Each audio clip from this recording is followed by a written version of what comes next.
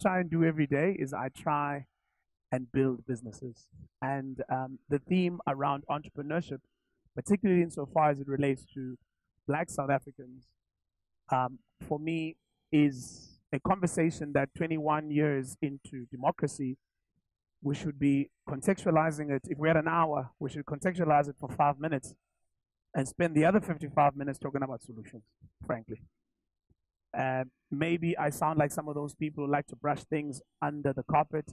Forgive me if I do. But I'm 37 years old. My eldest child is eight years old. My youngest is four. I don't have time on my hands. I need to create a country that they can live and succeed and um, achieve all of their objectives. So I apologize up front if I'm, if I'm not going to take too much time belaboring the problem. But let's go back for some context. For me, everything starts unbanning of the ANC. The country's rulers at the time are under pressure from a movement and a very coordinated um, structures, whether banned or unbanned, whether in country or outside of the country, that are putting pressure on an oppressive government to change. The world has also moved on. The years of colonization have gone. Of course, before then, slavery has gone. But the world is also moving to a time where self determination, democratic values, and the likes are starting to become the talk of the town. And the oppressive apartheid government of the Nationalist Party is starting to lose ground globally. And yes, to a large extent, economically, they could live in a closed world. But now the world is trading with the rest of the world and lives are moving on. So there's a lot of pressure in the late 70s, as well, maybe early 70s, earlier on, for them to start thinking about reform. And it's really the work, I would say, of the many freedom fighters, politicians, clergymen, everybody who put their lives on the line and some lost their lives to pressurize the government to have to change. If you are interested in the history of South Africa, which I, I'm amazed at how many people don't know about it, there's a very interesting book um, that's written by a gentleman by the name of um, Christi van der Westhuizen. I think he's a he's a journalist for, for the Star, and it's called about it's called about the it's it's called the rise and fall of the nation of the nationalist party. It's fascinating about trying to put into context where we come from. What that context meant was that South Africa, as you probably know, was one of the last countries, if not the last, to gain that kind of freedom. Many of our African brothers and sisters have gained this freedom on the basis of war. So there was tons and tons of bloodshed. But there's a good thing about war. The good thing about war is that the winner takes all. The good thing about war is that there's no negotiation. There's no settlement. I take what I take because I'm the victor. Slight problem with South Africa, which is the context of the conversation today, is that we didn't quite have that. Yes, we had a lot of people lose their lives. I read a statistic not so long ago about the lives lost between 1985 and 1989 being the highest amount of lives that were lost than any other period in the history of the country. We all know about the state of emergency. We're all probably uh, we're still waking up now to see what's really happening in the world at that age. I know I certainly was. I was born in 1978. So 1985, 86, 87, 88, I remember it. I was awake and I could see what was going on. We ended up in a period that, as you all know, started just before the mid, uh, just before, just after 1990 rather, of what I like to call a negotiated settlement. You're all business people. If, if not yet, you are at least business students. And you know that the one thing about negotiations is that nobody gets everything that they want. Nobody gets everything that they want. So, by definition, everybody had to make concessions. The Afrikaner government made concessions. The ANC led negotiators had to make some concessions. Perhaps we were so in love with the idea of voting. Perhaps we were so much in need of basic services because we essentially lived like slaves in our own country. Perhaps that was such a requirement at the time that we had to make certain concessions. And the one concession we made, ladies and gentlemen, is the economy and how it would then start having the majority of the population, being African black particularly, participate in it. We didn't lock that one. You know, in uh, legal agreements, which I'm pretty sure Lindani also sees way too many of them, there's this thing called CPs, conditions precedent. In other words, the deal doesn't happen if these conditions are not met. Then there are these things that lawyers like, which are called best endeavors. You know those ones. Best endeavors are saying, you know what we're going to do? We're going to try our best to do this thing. But actually, the deal happens, and there's no need for this thing to be done. But we're going to give it our best endeavors. We probably got a best endeavors clause as far as the economy is concerned.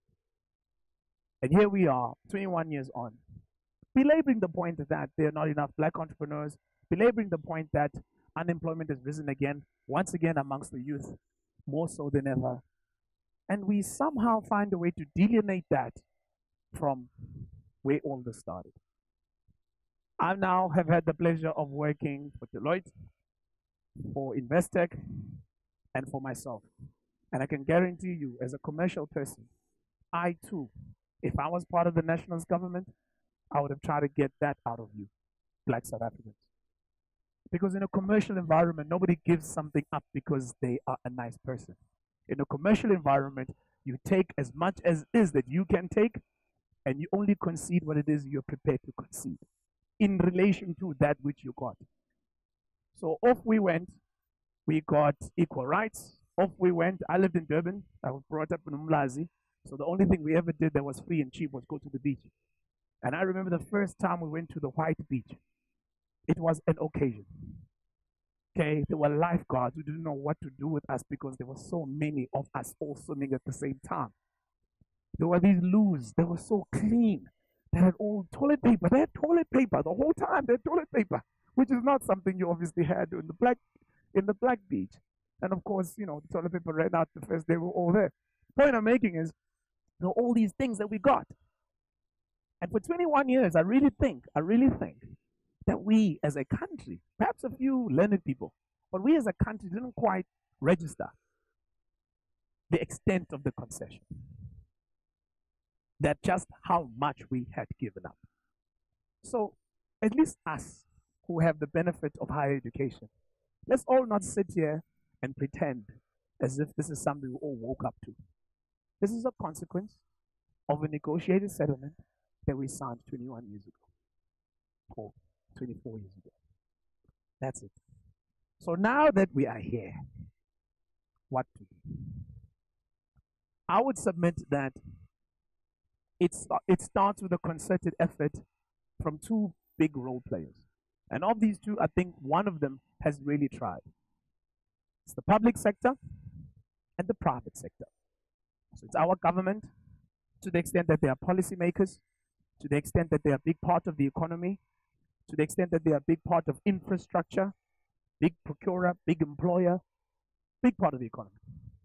And it's the private sector, big part of the economy, control the key sectors, you name it, banking, you name it, broadcasting, you name it, financial services, you name it, they're there. Manufacturers, automobiles, construction.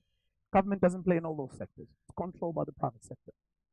And these two worlds that converge day to day in this thing we call the economy have a role to play to try and redress the consequence of the concession of 24 years, 25 years ago.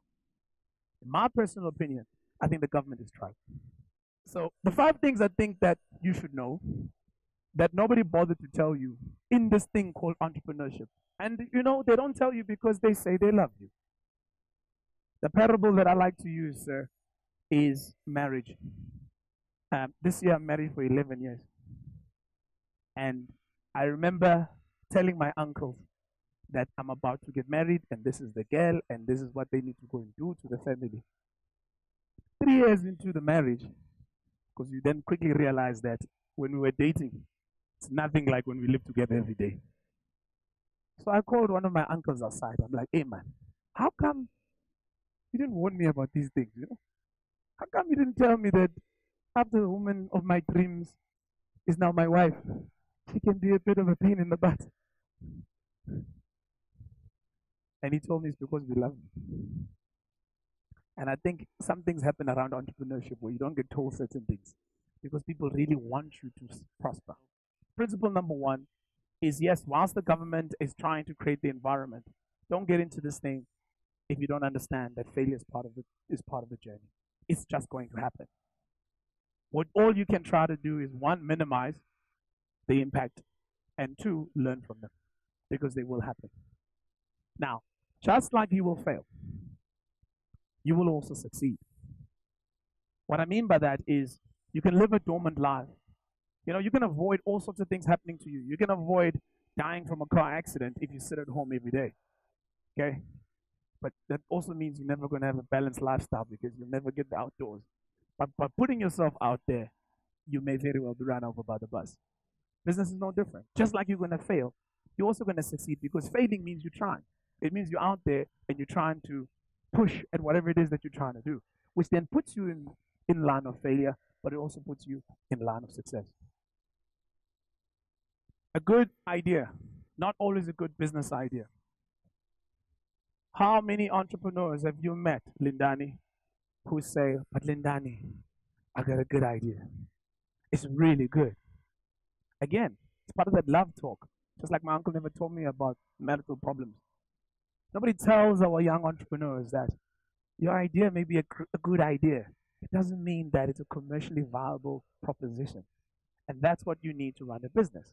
You need an addressable market. You need some level of scalability at some point.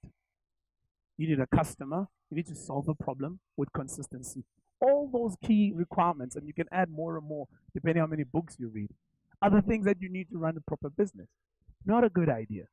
And no better example I have of this than apps. You know, apps on your phone? There are hundreds of millions. I'm not kidding, not thousands, millions of these things. The reason why you only have a finite number on your phone is because those are the ones that you thought are willing to one either pay for or to use for free, right? The other hundreds of millions never made it here. They were just a good idea. So hey, what it would be really cool if we had. That doesn't mean it's a good idea. And people spend a lot of time putting their whole savings, quitting their jobs to pursue an idea that they never once asked, is it a good business idea? A tip for me is you must be able to solve a problem in a sustainable way. No, all right, we'll give up. Ma- many people are not for this thing, guys, and you need to be comfortable with that fact. This may not be for you. This does not mean you're a bad person. This just means you're a smart person. You are, you are self aware. You've done maybe some research on what it will take, and it's not for you. One of the key reasons why many entrepreneurs fail, I think, is that inability to be close with self and be able to assess for themselves whether they'll be able to live the life of Lindani, making revenue of 200 million, but still can't get the bank loan. First, you need to get to the 200 million before you even have her problem. Even at 200 million, she has that problem. That may not be you. You may really be after a, a very secure future. Maybe you feel you can make the most impact in a corporate environment, which we need leaders, particularly black, in as well. So this is not doesn't have to be for everybody. And this other line that's all about entrepreneurship. You want to have a great life, start a business. No. In fact, if you want to have guaranteed income, keep a job, I'd say. So maybe it's not for you. My favorite entrepreneurs, wannabe entrepreneurs, are always working on a proposal, uh, refine, retuning their business plan, and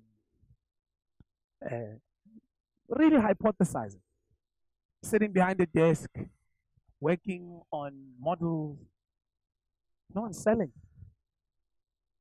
No one, you, you, you meet friends for drinks and you tell them about your awesomeness. You're not spending time talking to customers.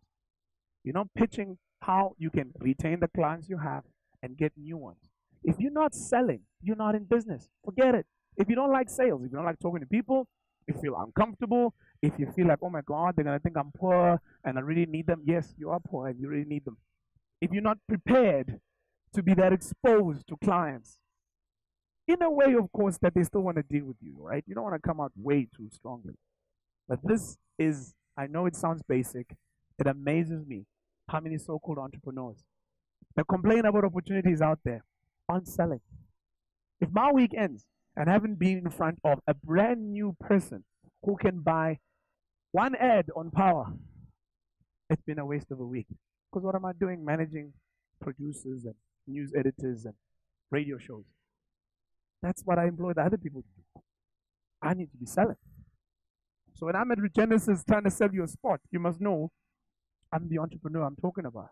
But if I'm sitting in my office waiting for Regenesys to pick up a call and say, we'd like to have a slot on power, then I'm not the entrepreneur. And way too many people who say they want to be entrepreneurs don't want to sell. They don't want to sell. They even tell me they'll employ people. I don't get it. You are the entrepreneur. You want to hire someone to go and convince people to spend money with you. Blue mind. You haven't even made the money, but you've already planned. I've heard it before. Yeah, so what I'm going to do is I'm going to hire this guy. He works for MultiChoice. He's really, really good. I'm going to pay him about 20 grand. The rest will be commission. Have you thought that when this guy goes in front of a customer, he has no way of articulating the vision? He has no way of articulating why you even exist. Clients buy energy. Clients buy passion. Clients go, I'll give this guy a chance because there's something from him or her that I'm getting. I want to be part of this thing. I mean, in our business, there's not even a better example, I would say. We're two years into the game. We pick on 106,000 listeners. Our number one competitor is 702, 33 years old, 800,000 listeners. I have no chance of convincing an advertiser why they should give me their money on that score alone. And I'm going to hire someone other than me and Given to go and sell. Because the client is just going to say, ah, 100,000, 800,000. Two years, 33 years. Timothy, uh, John Robbie, whatever. The world is against you here because you're a startup. So if you're calling yourself an entrepreneur and you're not going to go in there and take 702's money because essentially that money was meant for them, this is not for you. It's not for you. And, and lastly, um, from being an entrepreneur and not being a portfolio investor, diversification way too soon is dangerous. Your capacity is limited. You're a human being. Okay? You hopefully have another life beyond your business. So there's other people that need your, your time. If not loved one and children, these parents and friends. You only have 24 hours in a day. Nobody gets 25. Although I sometimes wish I had 25. I sometimes wish that everybody else had 24. And, I, and God just gave me an extra hour. You know, like uh, who was it in the Bible who was able to tell the sun to stop? Joshua, right? I wish I could be King Joshua and tell the sun to stop. The rest of you guys do nothing. I get to catch up on all the things that I'm behind on. But nobody gets that. No one's King Joshua, right? Everyone is stuck with the 24 days. If you have time to sleep some of those, at least five or six hours if you're lucky, you can calculate how much time you have. When you're over diversify and you're involved in way too many things and your capacity is still restricted, you're running a risk of not being able to finish off anything you start. So this idea, when BEE started, that all of us should be investors in various industries. And you had all these big conglomerates, being e-conglomerates, that were everywhere, we included. The money we lost was in a call center. What the hell was Given and Andy doing in call centers? What are we doing? It's because we believe that you need to work. It's nonsense. Be protective of your time and your energies and even your investment. Rather, what you should do is intensify. What I mean by that is within the core skill, there will be ancillary services that you can provide. Look at the story of Sekela Xabiso. Didn't go for the traditional model of starting out as an audit firm to do external audits. They cleaned up their own space in the market. First, it was internal audit. That's what we all knew SKX to be about. Suddenly, they're winning work for all sorts of things out there. That, for me, is the intensification. It's to be even stronger in my space. We'll try and play them much later. Uh, Steve Jobs um, and um, what's Mr. Microsoft's name? Bill Gates were on stage together. They were clearly still younger. And this gentleman got up from the platform and they were having a Q&A and he asked a very simple question, which I thought was profound. And he said, what is the one thing that we could adopt or learn that could help us to achieve even half or a percentage of what the two of you guys have achieved? Steve Jobs answered him. And all he spoke about for about a minute was passion. And he talked about how hard it is to start anything. And why is it that you would need passion to get you over? I couldn't agree with him more. And my own view of passion and its relationship to building a business is that if you follow that passion, whatever it is that is your passion, it helps you with many of the things I've spoken about. It helps you with focus and intensify as opposed to diversify. It helps you with selling because whatever you're selling, you're passionate about. And in my view, the rest will follow. Thank you, sir. I'm done. Thank you, gentlemen, ladies and gentlemen.